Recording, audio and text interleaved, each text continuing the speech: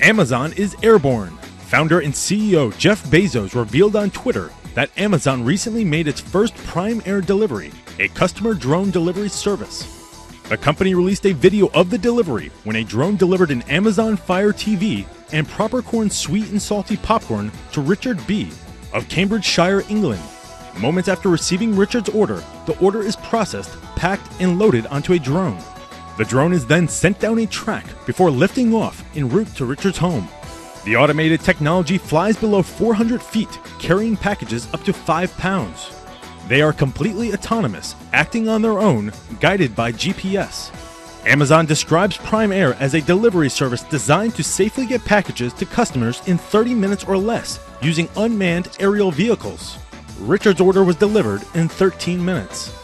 The company believes the service could provide rapid parcel delivery, increasing overall safety and efficiency of the transportation system. It claims that one day, Amazon drones will be as normal as seeing mail trucks. Amazon will be expanding gradually as it begins with two customers before spanning out to dozens of customers within miles of the company's UK facility.